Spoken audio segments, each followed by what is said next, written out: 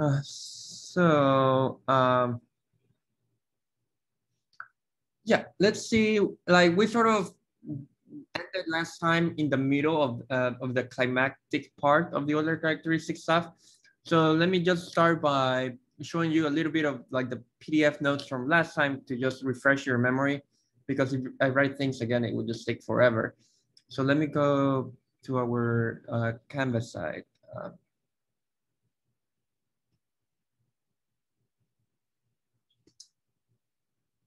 let's see. So if you click on modules, I don't know if anyone has checked this, like, oh, did I upload? Oh, uh, oh, here it is. I mean, I, I did, uh, good, good. I did had like uploaded the PF, but I never added them to the, to the modules part. So just in case, like, let's do it right away. Here you go. So now you can find like the notes from last time. So if you like, let's just see what happened last time. Yeah.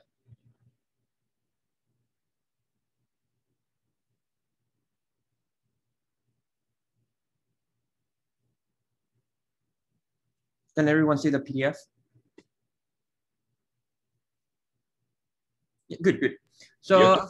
good, perfect. So again, like we had started with this like problem about the bridges this was just sort of like a motivation and we saw like more or less that Euler solved it and like showed that um, that you could not cross like do a trip where you only cross each bridge once.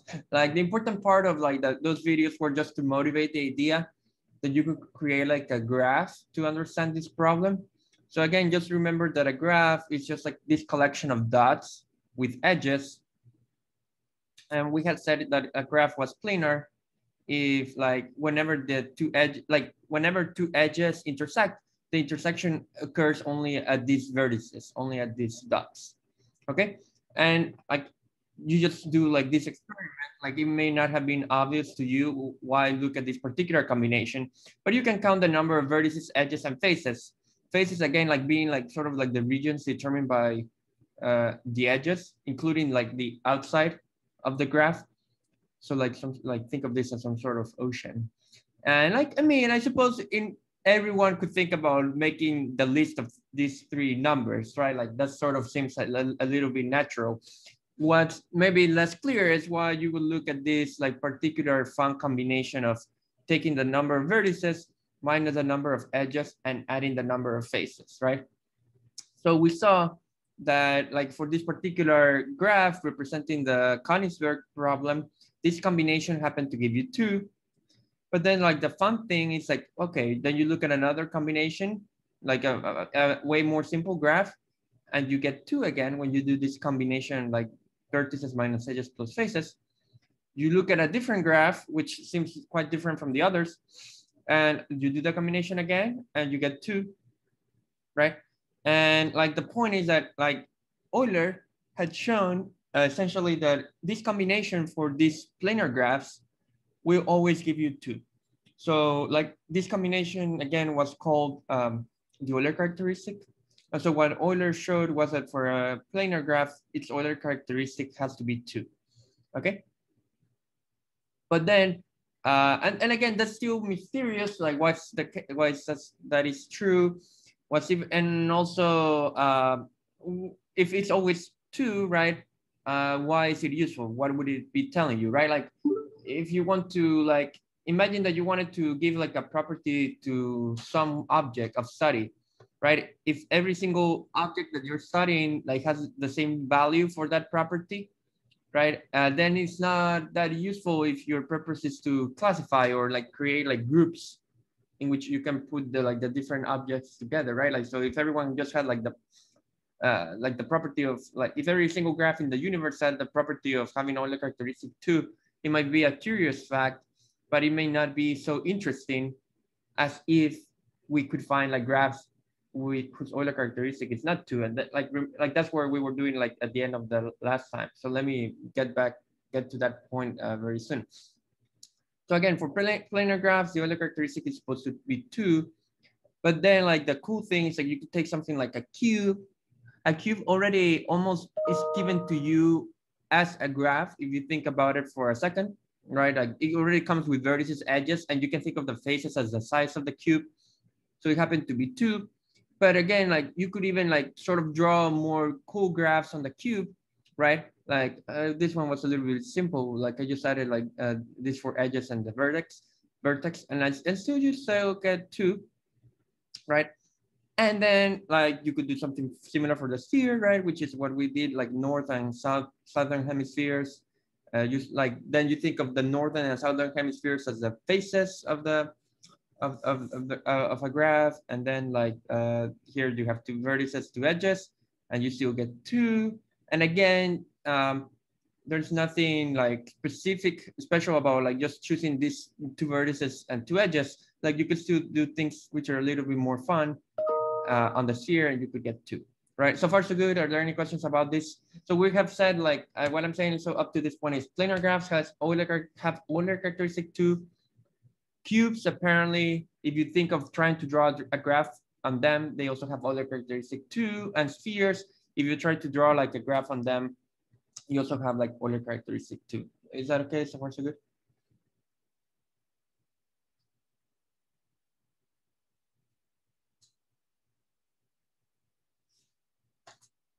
Are there any questions up to this point? Good, good.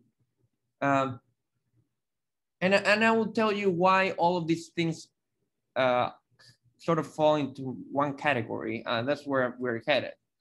But, and so it seemed like we kept getting two and two and two and two and two. Oh, oh, oh, uh, well, the thing is like, uh, in the case of the sphere, right? the outside is sort of like three dimensional, correct? And the interior of the sphere is also like three dimensional, right? So in a sense, like you have to sort of think of the sphere as being like, you don't want to think, I mean, it's sort of almost impossible because already when you think of the sphere, you already like see it like, oh, like inside this bigger space, right? But you almost have to think about it as it being like the like the entire universe itself, right? So there's no outside of the sphere, there's no inside of the sphere. Uh, plus, like if you still wanted to incorporate the outside, it's a different sort of outside to the ones that we looked at when we thought about the outside of a graph on the plane, because the outside of a graph of a plane, right? If you, right, like this outside, you know, like the one that I drew in blue, is sort of like two dimensional, right? uh, the outside of the sphere that you would be thinking about is sort of three uh, three dimensional, and that uh, even if you wanted to include it, like you could not sort of count it as a face in the. I mean, you could like you would need to treat it differently because it sort of has like a, a different dimension. Is that making sense?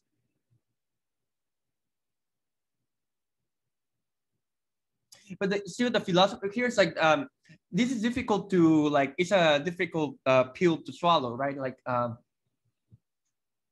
like the Matrix, like you're being red pilled. Although nowadays has a lot of other connotations on YouTube, but like uh, you know, uh, the the, the, the idea like in mathematics is like if you think of like if you wanted to think of the sphere as an actual universe right uh you would not like think necessarily that sort of like the sphere is floating in, in this bigger space right the sphere would be all that there is to the universe.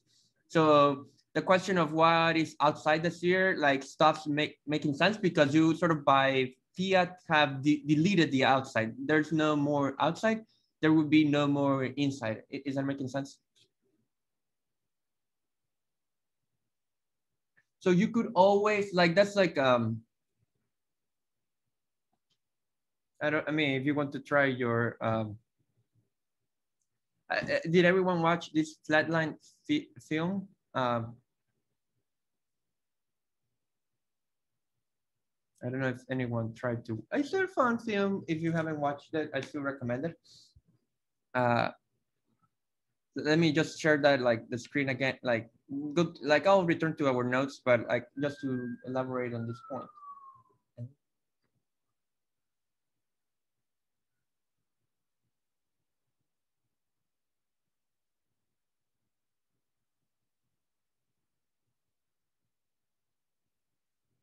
Right? Like for example, um,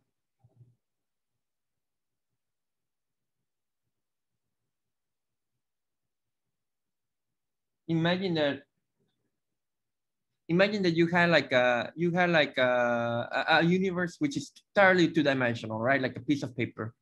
And you can think of a circle as a, a creature living on this universe right?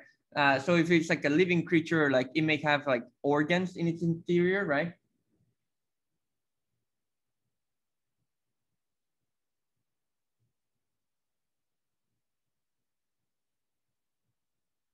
So I tried to draw a heart for the circle. Although on the film, the circles are sort of psychopaths. They're trying to kill the other geometric figures. So maybe a heart is not the most appropriate.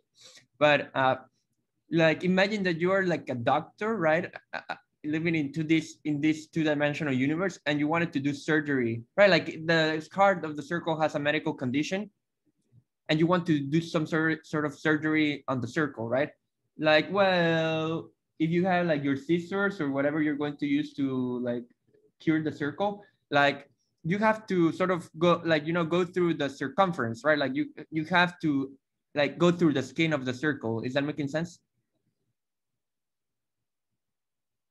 But like right, if you like were like a divine creature living in three-dimensional space, I don't know, like you know, like imagine like the circle is like here.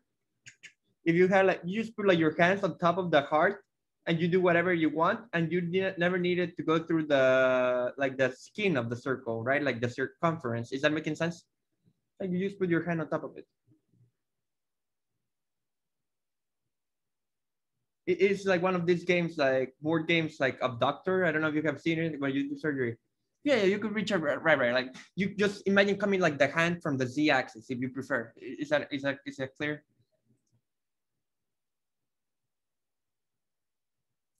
Now, here's something that maybe you haven't thought about. But if you had like, if there were like a fourth dimension in space, similar to this situation, like imagine someone wanted to do surgery on my heart or my brain, they could just throw in like a, a hand literally coming from this extra dimension and doing like the surgery without ever having to go through my skin. Is that clear, the analogy? So, you know, like uh, and in, in a way that like that would be like a cool thing. But like uh like but the this two-dimensional world is a two-dimensional world in its own right correct? Like um you don't need to like think that it sort of lives inside this bigger space. Like that could become like an it's actually like that would be like an empirical question. Like that would be like um like you would need to see like manifestations of these extra dimensions on on the space that you live in, right? Like for example, if like if you were like a circle and you saw someone like somehow like your your like the surgery taking place miraculously without opening your circumference, then maybe you would be more inclined to conclude that there was this third dimension in space, right? But like there would be like some manifestation would be needed. So it's sort of similar in this like situation with the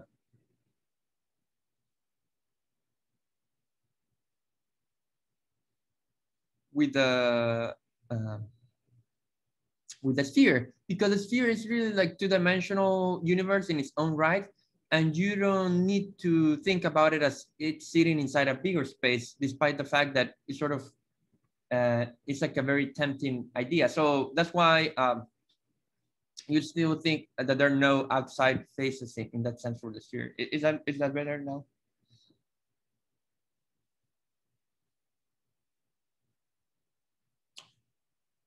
But uh, now we come to the cool part.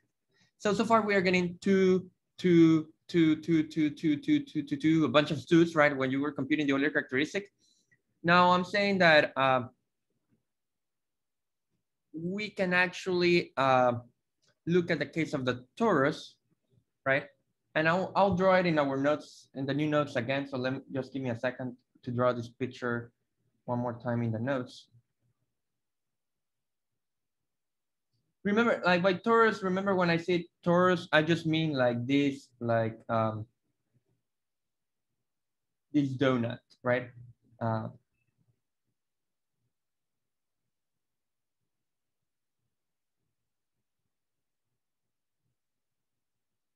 uh, sorry, I'll show you the other screen in a second.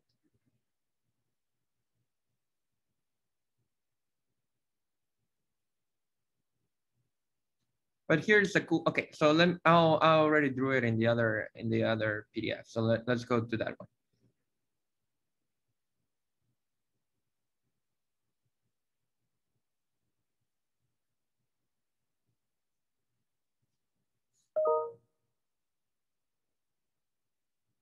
Uh, oh, sorry, I shared like the wrong thing. So here is not correct.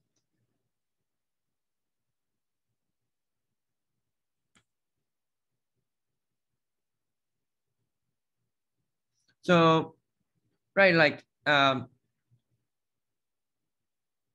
remember that like in the case of the donut, one way to think about the donut was that you could obtain it by just taking like a piece of paper, right? And then like putting some glue on these two opposite edges and just like gluing them together, right? Like literally just taking the paper and doing, uh, right? Like taking the piece of paper and doing like this and then you got a cylinder. Uh, but then like there were like these two remaining remaining edges that you could also glue together, which are like the orange orange edges if you want here. And when you glue them together, like then you do get like the donut. So in this case, if you thought if you think about it, like these two corn four corners, which like in principle look like different corners like if you keep track of like if you were to draw them on the piece of paper like how they uh start like um like for example when you uh it's easier to see first like what's happening with the cylinder. You had like these four corners. But like uh when you do the first gluing like they're sort of cut in half like they just become two these two dots because like once like they sort of sit one on top of the other in coming pairs and then when you glue them again like the like the these two dots like just become one. And that's why i'm saying that you have one vertex here. And likewise like uh, these two edges like look different like but they actually become the same once you glue them. And these two edges look different but they become the same when you glue them. So this is why the here you have just one vertex two edges and uh, one face. And in this case the Euler characteristic if you do the same thing uh, this gives you what? Like it gives you one minus two plus one, which is zero. Right, so what we had said was that the Euler characteristic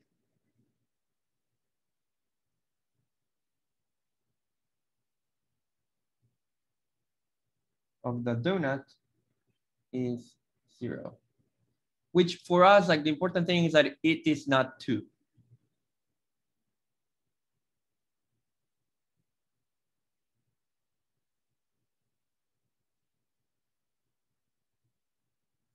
So uh, tears of joy.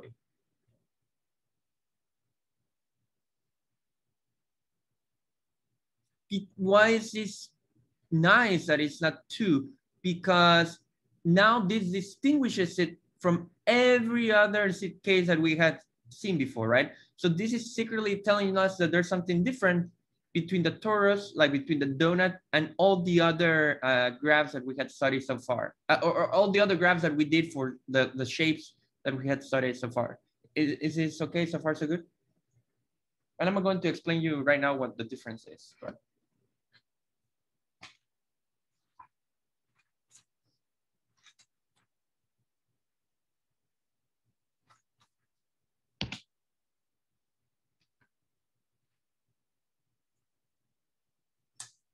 So first, like, is, is that okay with everyone? Make any questions up to this point?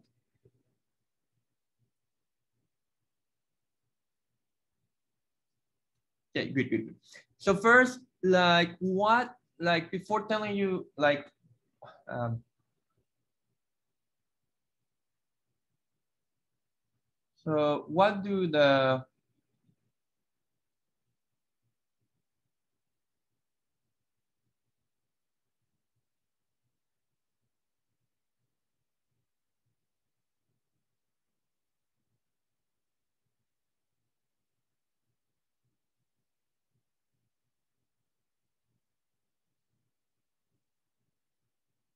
So what's the like, um, what's the relationship between the cube, the sphere, and the plane? Why is it that like when you were drawing graphs in these three cases, like you were sort of uh, apparently getting the same answer? So anyone has heard of like the stereographic projection?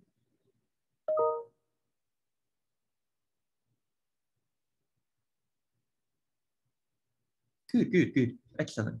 Let's talk about this.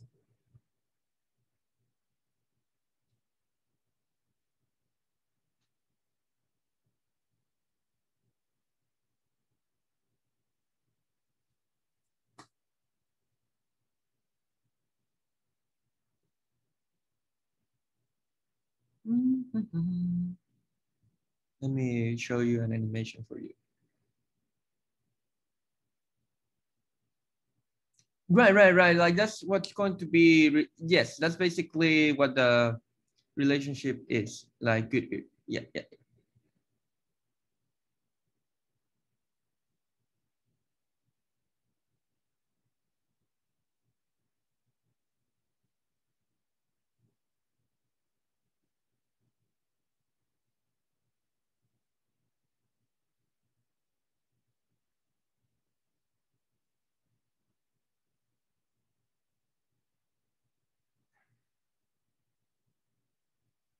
Okay. Okay, perfect. Let me show you the animation.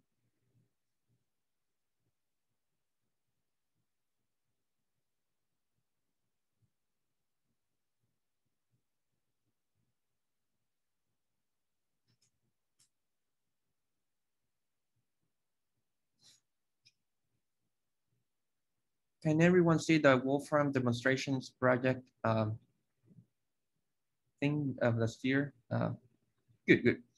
So like the idea of the stereographic projection, which is like um, occurred to Riemann, if I'm not mistaken, and Riemann will appear very soon in our story later, uh, maybe in a couple of lectures. Uh, if you have read the book, uh, maybe he was already mentioned there. But uh, what's like what's the point of the stereographic projection? Like imagine that you look at the North Pole. Imagine that you like draw the sphere, right? In such a way, which is not maybe the standard way that you would think about it, but like um, in such a way that the South Pole of the sphere is like barely touching the XY plane, right? So like you just, or just put like the sphere like on top of some of some material, right? Like some table. So you like the north, like the south, south pole of the sphere is touching the the the xy plane and then like imagine that you had like a light bulb or a laser from the north pole right and so like the idea of the stereographic projection uh in, like so like the now think of the laser as draw like like from this like uh, north pole which is the source of the laser like you just start throwing like around like around you can you just start like shooting rays in every direction, right? And so here comes a ray, a ray, a ray, a ray, a ray, and it hits the sphere in this point, right? But then the ray continues and it hits the sphere, at, and then it hits the plane at this other point. Is everyone seeing what's going on? So for example, like you have like another different ray which hits the sphere in this point, and then it hits the plane on this point. So far, so good. Is that, is that making sense? What's going on?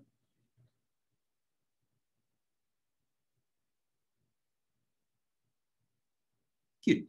Now, like here's the cool thing, right? Like when the ray hits the sphere, like at, at some point, it will hit the, the, the plane at, at, at another point, right? But it's not that it hits, I mean, it would not be the case that it will hit the sphere once and then the plane twice, or it would hit the sphere twice and then the plane once. Like for every point that it hits on the sphere, it will there will be a corresponding point that it hits on the plane. Is, is that making sense?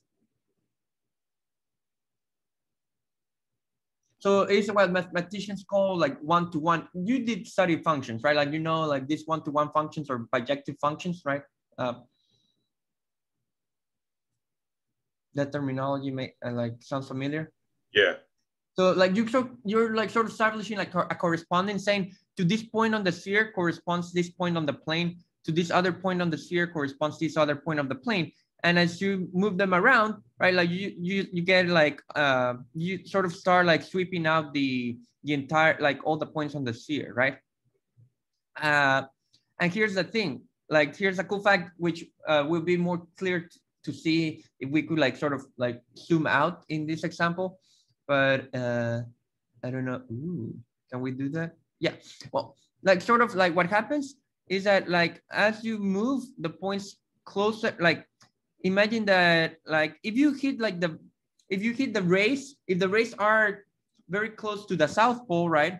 Which is what's going on here. You see like, um, like they sort of accumulate near the sphere, right? But as you move the rays, as the points, uh, if the points of, uh, of the sphere uh, start getting closer and closer to the North Pole, right? Do, do you see what's going on? Like, do you see the points on the plane getting away?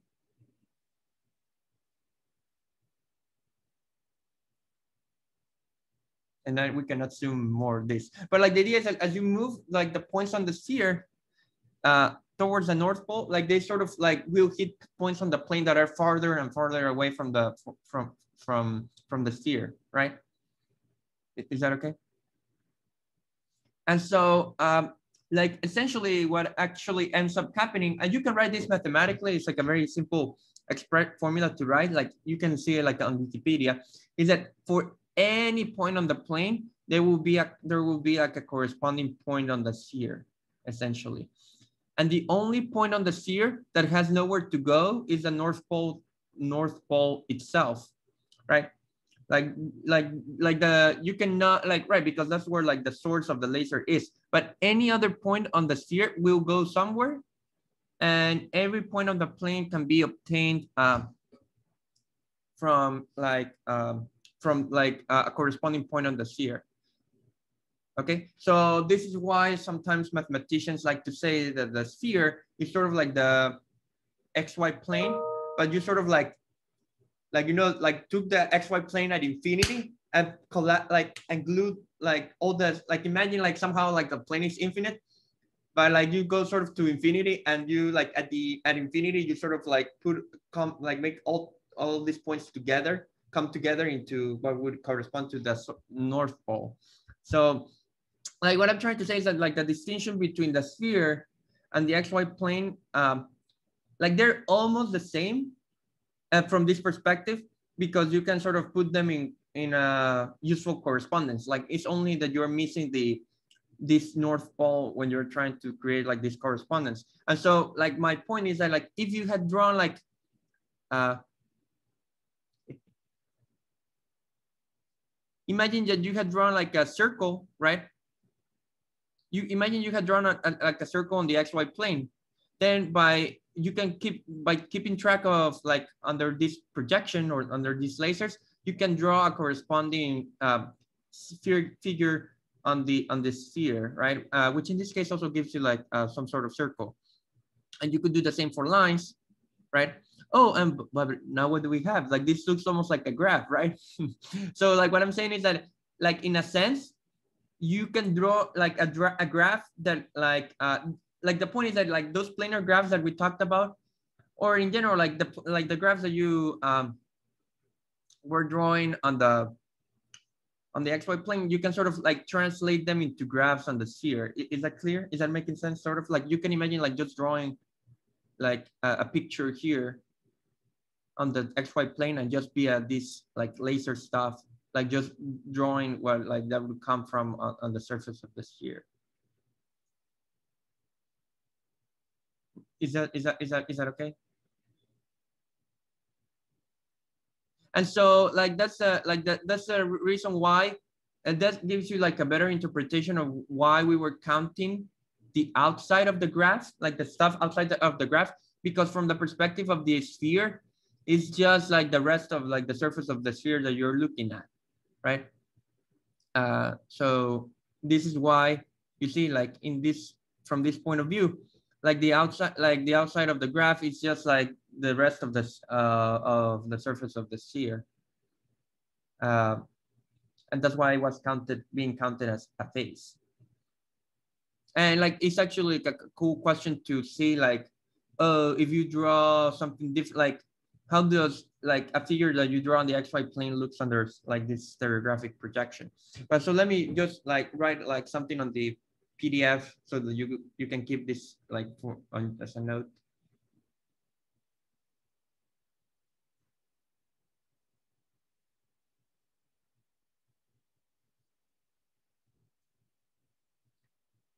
And so like again like uh like the point of the stereographic projection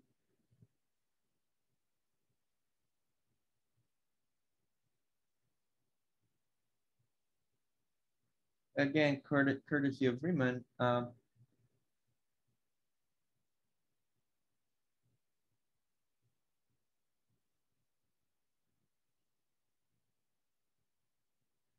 Oh my God, I may have forgotten if, if he has two M's or two, I mean, he has two N's in his name, but I don't remember if he has two M's. Well, hopefully he'll forgive me. So, uh,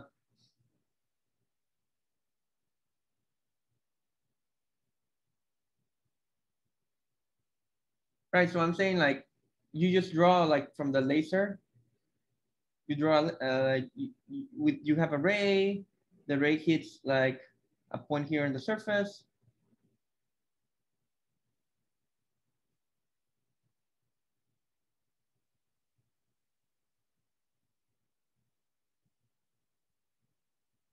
Which then hits like this point on the plane. And so like the idea is like um, on the North Pole, uh, I mean, you can do uh, the projection point, like you, you mean like the like the actual center?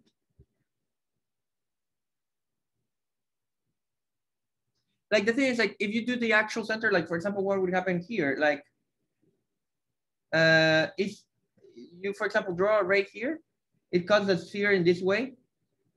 But like when you continue the ray, then it won't cut the x-axis, right?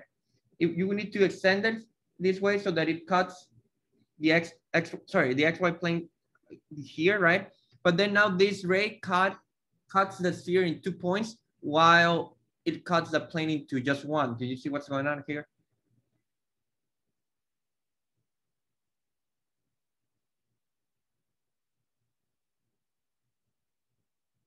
So by doing it from the center of the sphere, you lose this fact that is like uh, one to one.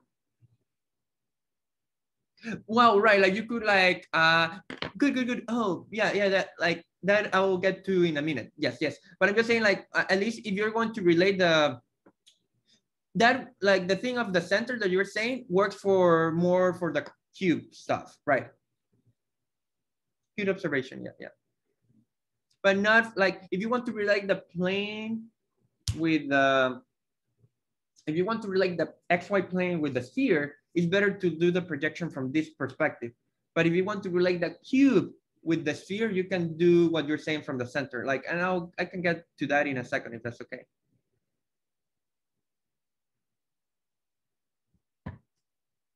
Good, good. But yeah, good. I'm glad that like, yes. Glad it's making sense. So I'm just saying that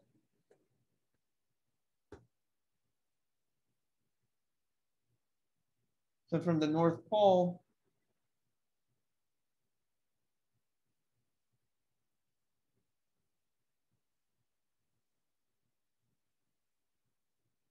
uh,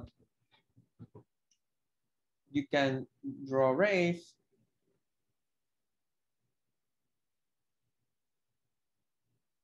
uh, with the property.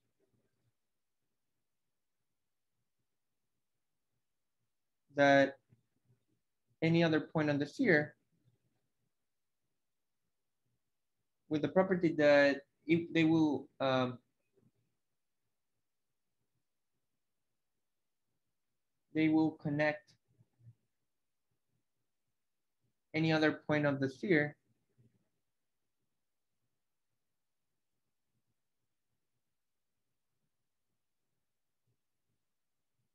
on the sphere with some point on the xy plane.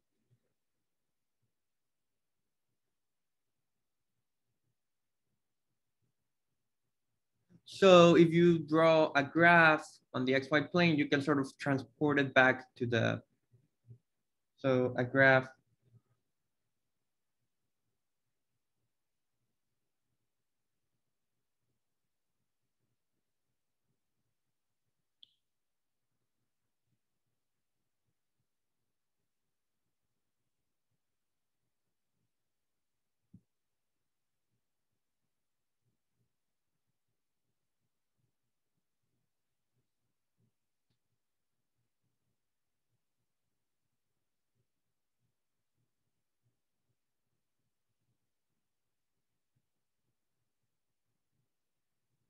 but like, yeah, for example, like the, uh, so like I would write it just once in fancy mathematical terminology.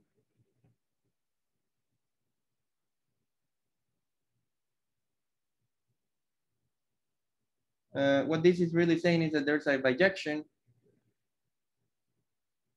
What that just means like one-to-one -one correspondence between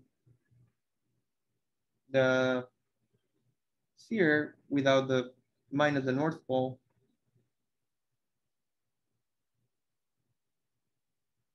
and the XY plane. And again, for those who are reading the book, uh, this bijection is actually a little bit more powerful. It's called uh, homeomorphism, but like you can ignore that name if you want for those reading the book.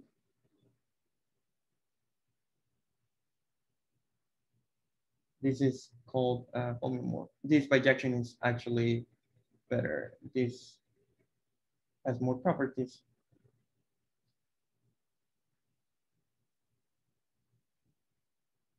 Making it a homeomorphism. Homeomorphism just means that like if you look at the function that this like you know like sorry there's actually like a formula that you can write down saying oh which says like this point on the sphere to what particular point on the xy plane that's taken to and homeomorphism just means that like that function will be continuous and continuous just means that nearby points will be mapped to nearby points here right? Like that somehow if you had chosen, if you had moved this ray a tiny bit, then the point that it goes to moves by a tiny amount. You don't do anything weird where like uh, you move this a tiny amount and then like the point ap like appears like on the entire opposite side of the, of the sphere. Like tiny changes in the input somehow produce like tiny changes in the output, more or less. Like that's the idea it's a little bit more, it's a different, bit more technical, but that's the, the gist of it. And then like, uh, right, like to this question about what the cube and the sphere have in common, like you could imagine like putting like a sphere inside one of the Amazon boxes that you use for receiving products. So what's easier to draw? I think maybe it's easier to draw is it easier to drop the sphere first or i mean i don't know but do you like you see like what i'm trying to do like and now you put like uh, uh, the sphere inside a box where like the north pole perfectly like you know the north pole touches like this point the south pole touches this point and like uh there's one point that touches this other side. Like you know like it it, it matches it perfectly. I suppose you don't have to do that um but it's more like exciting that way. And then like you then you would put like the laser at the origin instead of like using the North Pole as a laser. And then here, like when you draw, like again, like you start drawing rays. Uh, this is like an extreme case because here it hits the North Pole and already a point on the box. But like then like there are other rays that just hit like a point on the sphere and then like a point on the box and like like right here and like then you can see like you would see that uh, if you do that like every point on the cube. What this is saying like you know it's like if you were trying to trap the sun like this is one way to think about it. If you thought about the sphere as the sun what i'm saying is that every point on the cube there will be like a light ray that passes through that point. Is that making sense? Through every point on the cube. So if you think of the sphere as the sun then through every like uh, through every point of the cube, there will be a light ray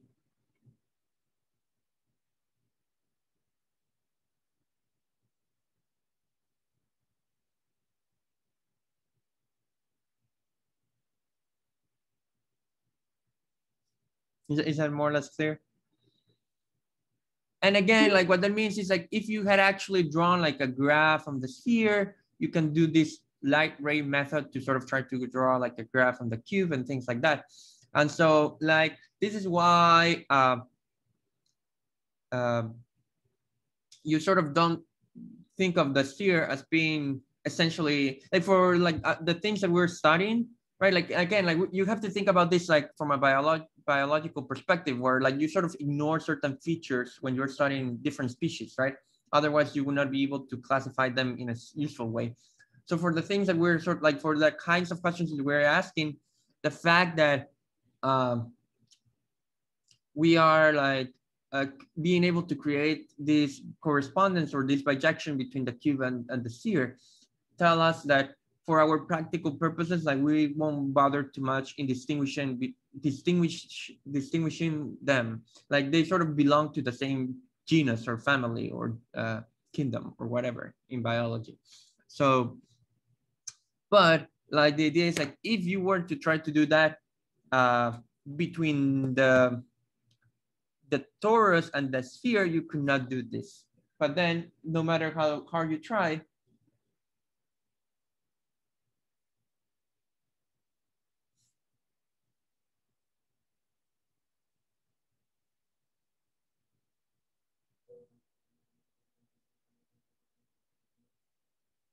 you will never be able to find like a bijection. I mean, like a homeomorphism, like this, like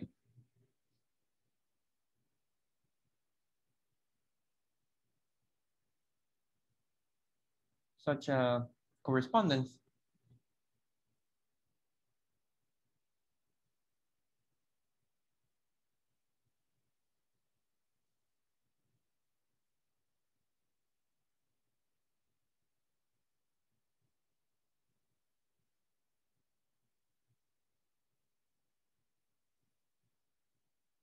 So there's no way to do like a laser method that will allow you to create this correspondence between the torus and the donut. It doesn't like those are the same. The the donut and the sphere. It doesn't matter how creative you want to get, you will never be able to do such a correspondence. Uh, for uh, I mean, there I suppose there could be many ways to see this, but for us, like the way in which we think one would think that one could see this is is actually because these correspondences need to these correspondences can only be established between spaces with the same Euler characteristic. So the idea is like the Euler characteristic that you compute has to be preserved.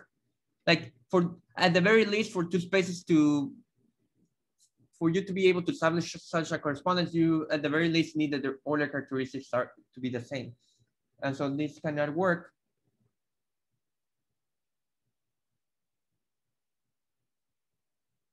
Because at a minimum,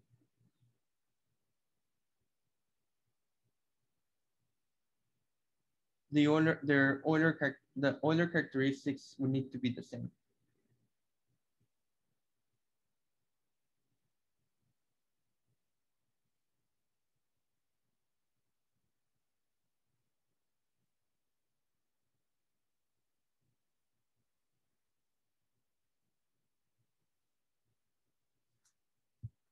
So that's like uh, one of the ways in which the Euler characteristic comes in handy because like you were trying, like, you know, like uh, there was like, I don't remember like a couple of lectures ago, someone had asked me, oh, but then how you distinguish the spaces, right? Like you, maybe someone was thinking about it from like the, like the perspective of the equations and things like that, like defining uh, the sphere or like maybe you try to find like an equation defining the donut. But like the idea is like you start trying to distinguish it, distinguishing them by like attaching like numbers or other things to these spaces, which you know have to be preserved whenever you try to find correspondences between them. So if you know that you at, like gave a different number to the sphere and you know you gave a different number to the donut, that means that no matter how you creative you get, you can never like um, I like like create a correspondence in the same way which you were able to create like a correspondence between the sphere and and the cube. Is, is that making sense?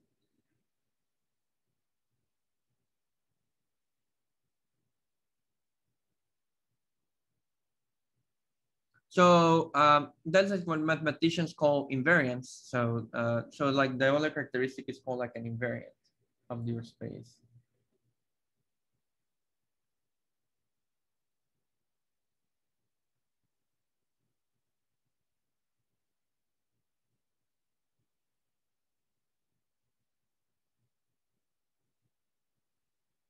And what we will see, like, and this is really the cool thing, like eventually, like we'll get to it like in maybe one or two more meetings.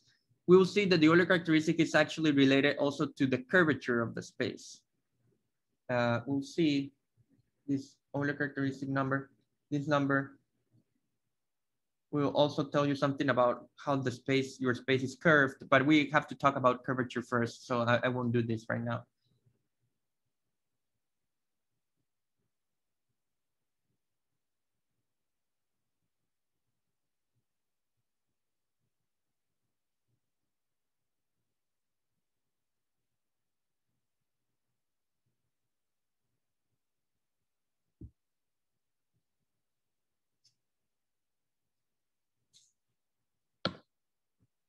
So far so good. Uh, and in fact, like I think I, I may have said this uh, at the end last time, but like again, like the meaning of the Euler characteristic. If you have a like, there's a, a thing called the genus of a surface. Uh, which just means like pictorially like the number of holes. Uh,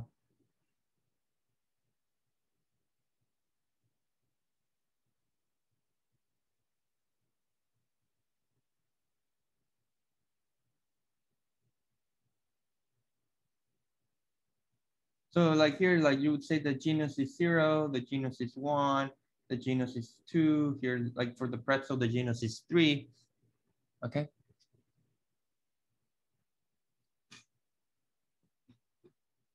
Then there will be one like with genus four. Everyone sees where, where we're going with this?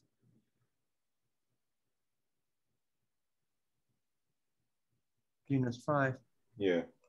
So for every number of hole, like for every number, for every positive integer or zero, you can sort of find like, you can sort of just draw like a surface with that number of holes, right? And like, first of all, like the key property of the Euler characteristic is that it ends, up giving you two minus two G. So the Euler characteristic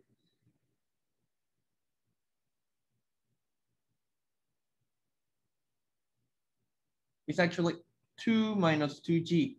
So it's two minus two times the number of holes.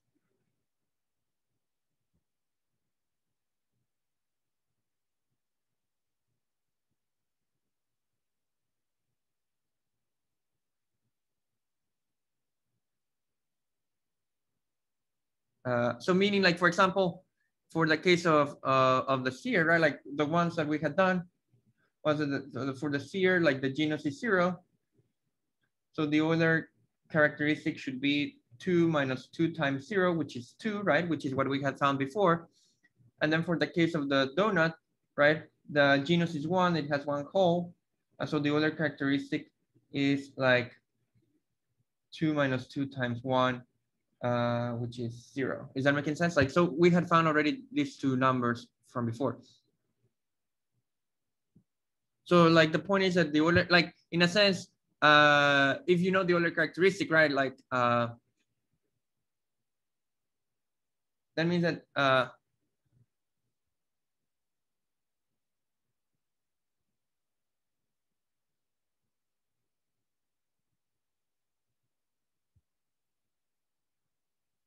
Oh, uh,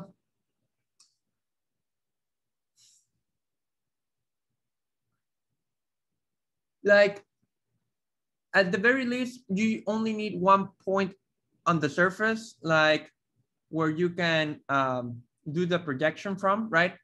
Uh, it, is, it is not required that for every point on the surface, you need like you could find like somehow like a smart projection. It, it, is that making sense? So it would suffice to know that there's one point on the surface, but that here's even better. Like here's a like the cool thing like even when I was doing the projection, you know, I drew like, for example, the, the sphere and I drew like uh, the XY plane. And I sort of saw both of, both of them again, like sitting in this higher space, right? In this 3D space where I was drawing the lasers, right?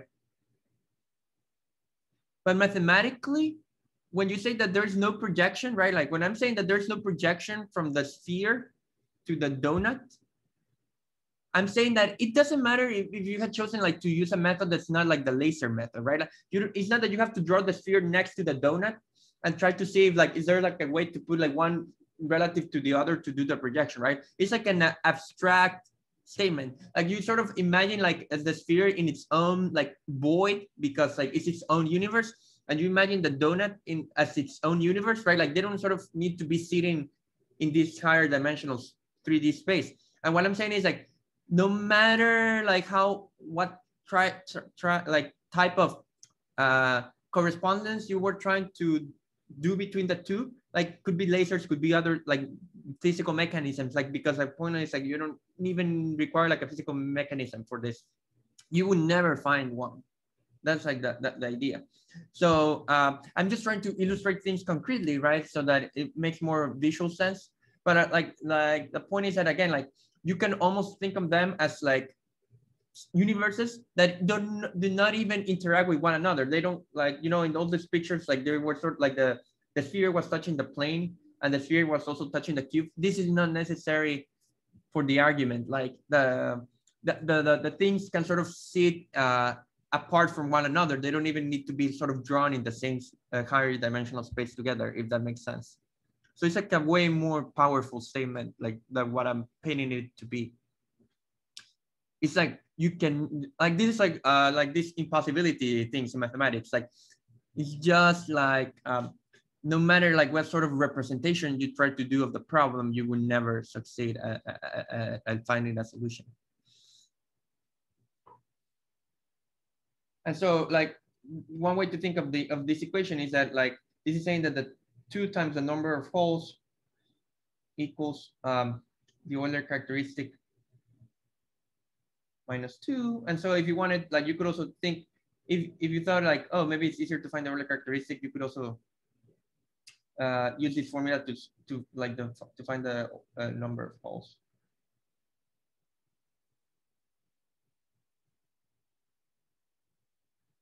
Uh, in fact, what happens like in this particular case is even more interesting, which and that is that uh, there's like a thing called the classification of surfaces. Uh, I suppose that was proven sometime in the 19th century. Uh, although like the proof itself, like if full details for a mathematician took more time, but like there's like a, a thing called the classification of surfaces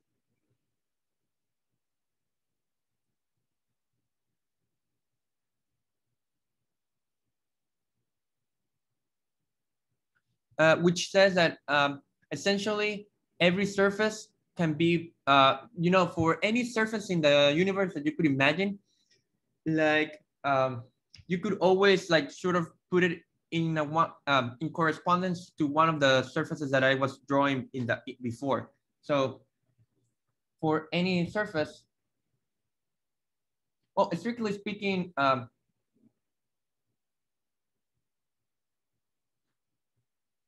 I don't know if you remember, like I mentioned the Möbius strip, uh, like there's like spaces where like, um, you know, you cannot define like what it means to be right-handed properly. And so I'm ignoring those. I'm just saying like those were like, um, uh, there's like some sort of notion of right and left-handed people.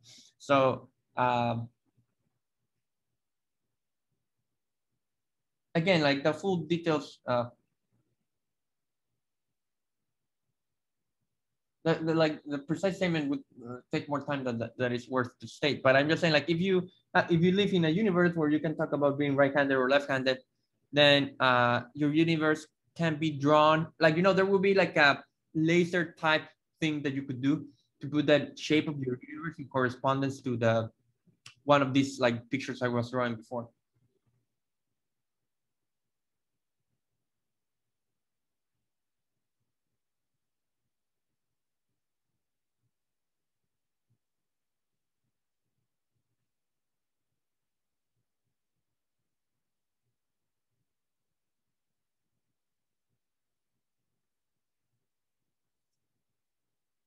Is that making sense? So like what I'm saying is that essentially uh, there's like a complete list.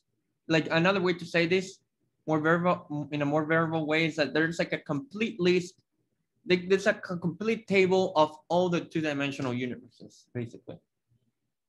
So, and any universe that you would hand to me, which is two-dimensional, I can I can sort of just go down the list and find where it should be placed. Like there's like a complete understanding of, of, of this case.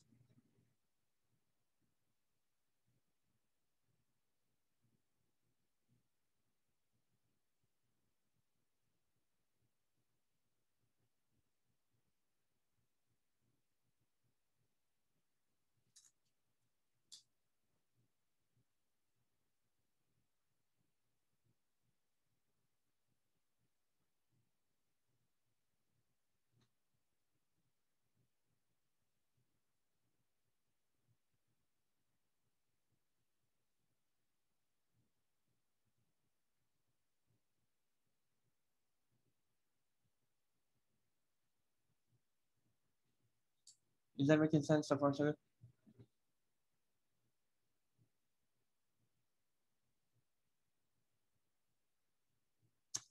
Uh, good, good. Uh, okay, so we have 20 minutes. I think I'll mention a little bit more about the like the 3D case, like which will be put on hold for a while, because like next time, like next time we'll do is that I don't want to start this discussion right away because like I will need to repeat it to a large extent. So next time what I will do is tell you how this Euler characteristic can also be related to the notion of curvature and what is a geodesic. I'll tell you about that next time. Uh, but uh, let me at least just mention quickly what happens in the three-dimensional case, which is again like sort of like the type of universes we're, we're interesting, interested in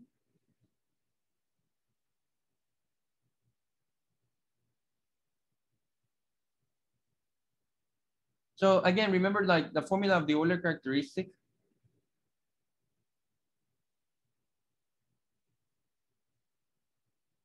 For like uh, a, a surface. By this, I just mean like a, a, a graph on the on, on the XY plane. Or this donut.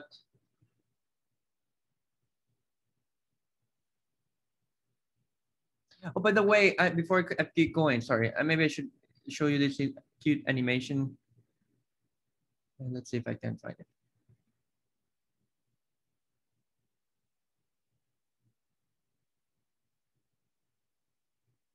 Oh yeah, yeah, yeah. Let, let me show you this for a second and then I'll return to this thing.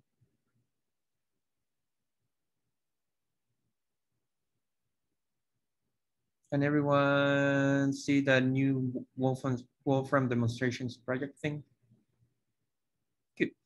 And this is cool. Uh, this is like showing you how to like draw other graphs on the donut. Like again, um, if you think about the, this is like the, the like the paper version, the paper representation of the donut, right? where like, for example, this edge was supposed to continue to this edge, right?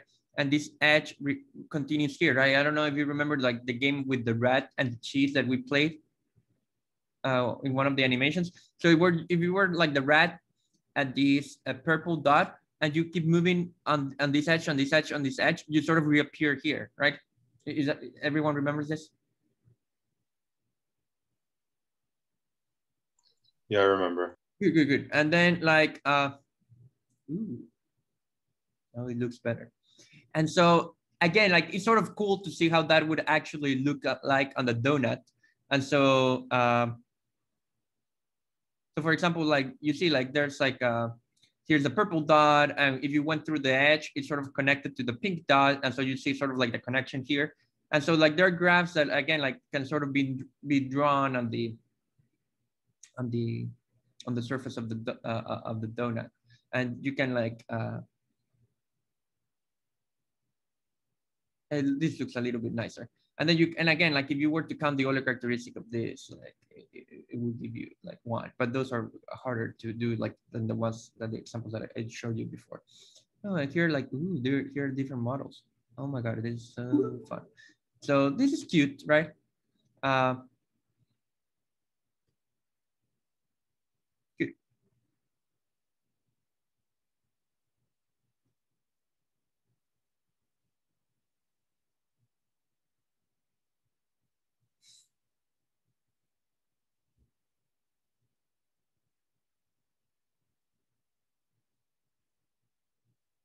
Is this okay? Um, so no, but again, Euler characteristic was like vertices minus edges plus faces, right? Uh, the vertices were like dots, which are zero dimensional, right? The edges are like, like one dimensional because they're just like line segments, right? And the faces are like two dimensional, right? So the Euler characteristic is like uh, a, a, a sum with signs between something zero dimensional, the count of something zero dimensional minus the count of something one dimensional plus the count of something two dimensional. Is that making sense? So like in the three dimensional case, like there's like a story that goes, so this is like for 2D. For 3D, like there's something similar you can do, like you can do like vertices minus edges plus faces minus b, and I'll use that for boxes. I mean, this is no this is no longer standard terminology. And so again, like the idea here is like this is like sort of zero dimensional. Uh, this one was one dimensional. This one was like two dimensional. And like by boxes, I just mean like the interior of the box, like that some like the interior of the Amazon box or whatever. So this would be like three dimensional. And so this would be like the formula for the Euler char characteristic of a three-dimensional universe. So this is like the 3D version of the Euler characteristic. So for example, like at least we can actually use like not many people could do this like without taking like a higher math class, but we can actually now find the Euler characteristic of at least um, one 3D universe.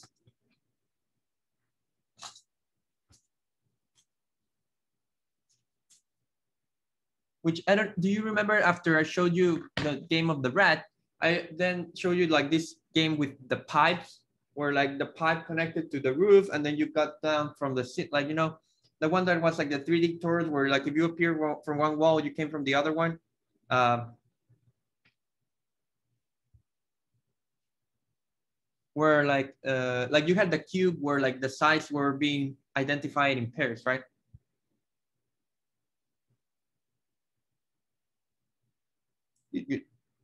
So what would happen here?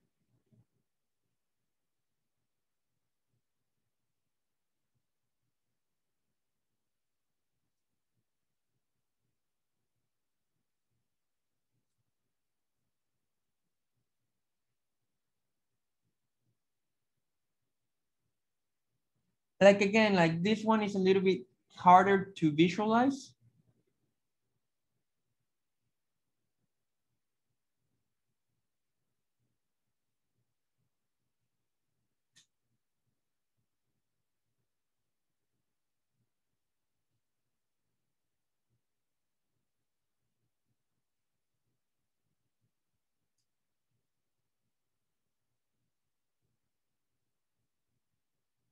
So this is what like the one that's called the 3D torus. And like, like the idea here is like, this is similar, like the idea is like, is this similar to the logic behind the, the, the, the donut, right? So like, again, like the difficult thing is that now we cannot do the gluing visually, but like there's some gluing ha happening. So for example, for the case of the, of the of the donut, like the all the vertices became one after you glue the opposite edges, right? So here, remember that like we're gluing, like, like the idea is that you're gluing opposite faces, opposite sides of the cube with one another. So if you could keep track of the gluing, which is again, not easy to visualize, you would say that there's like all these, a priori you had like what, eight vertices? They'll sort of collapse into one. So you get one vertex this is similar to what's happening on the cube. That's what I'm trying to say. Uh, then how many edges do you have? Well, the thing is like sort of again, like the edges that are sort of parallel to one another, they all become one after you do all the glue. I mean, you don't, it's okay if not all of this makes sense, but like the idea is like this, like the edges that are parallel to one another, become the same after you glue all the sides together. So that's why I'm drawing them with different colors. You have um, blue, purple, and red. So they're really just three edges. Like, so E is three. And then you have um, how many sides of the cube, how many faces? Well, a priori, a, a cube has six faces, but they're being glued in pairs. So you only get three at the end. And then how many boxes are there? There's just one, like the one you see here, like the interior of, of the cube. And so you get one box. And so the Euler characteristic for this one is like one minus three plus three minus one, which is zero. Did that sort of make some sense? Like, again, it's, it's okay. Not all of it is clear, but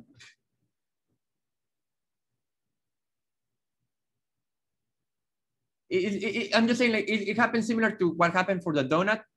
Uh, it's just that you have like it's a little bit trickier, but you can compute Euler characteristics for other 3D universes. Uh, the Euler characteristic for other 3D universe, like uh, in 3D, the Euler characteristic is not as useful because it always actually gives you zero. Uh,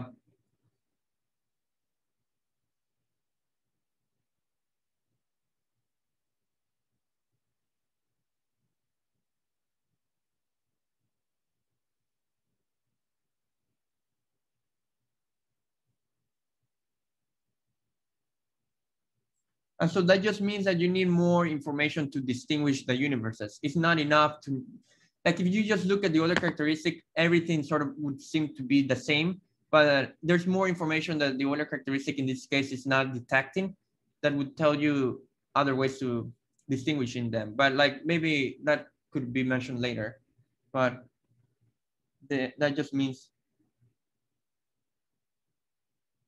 that other methods are needed.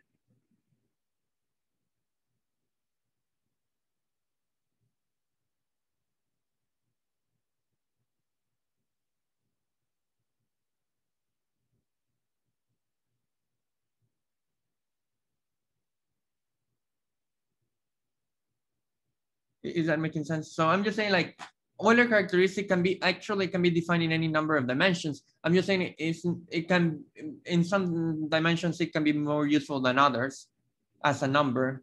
In dimension three, it's not that useful just because everything ends up having Euler characteristic zero. The reasons for why that's the case that are that's actually interesting to know, but like that would take us a little bit too far from what we're doing. I'm just saying that just because two spaces have the same Euler characteristic in this particular case, that does not mean that they have to sort of, you need to be able to put them in like this sort of one-to-one -one correspondence. Uh, it's just that you need more information to, to be able to like find that out. Is, is that okay?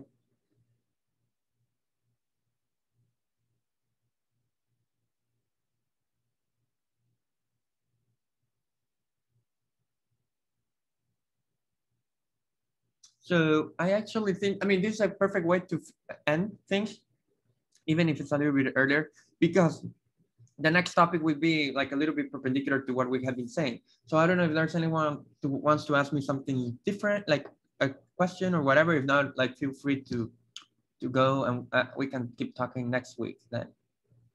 Are there any questions? Anyone wants to chat?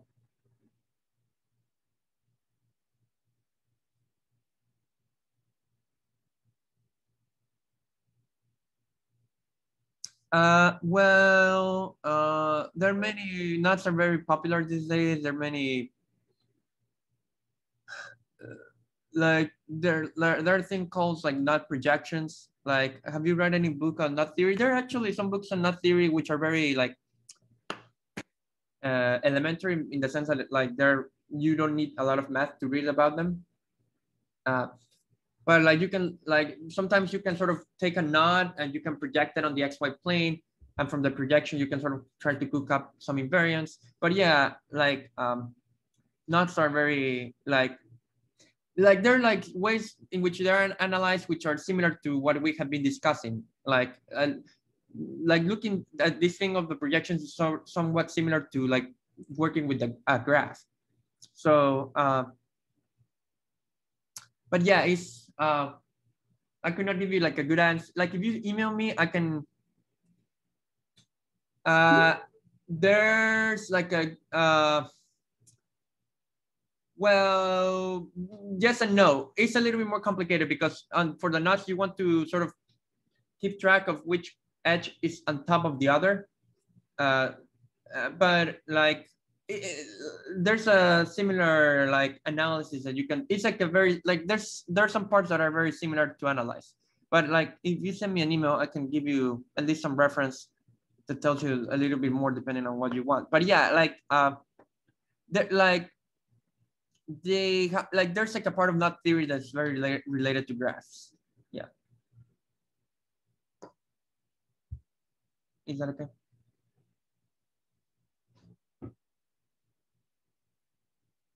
Anyone else?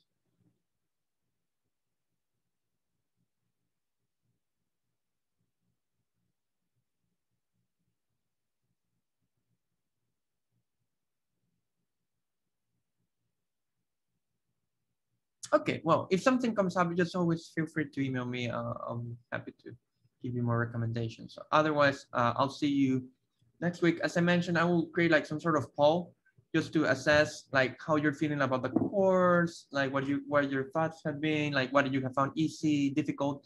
It's more like just like some sort of just tell me how you're like digesting the material. Like there's no right or good, like wrong answer. So that like I just I'm just curious like how much sense everything is making. So uh, because this is like a, a, compli a complicated topic. So yeah, yeah. I'll, I'll see you uh, next week then. Good, good.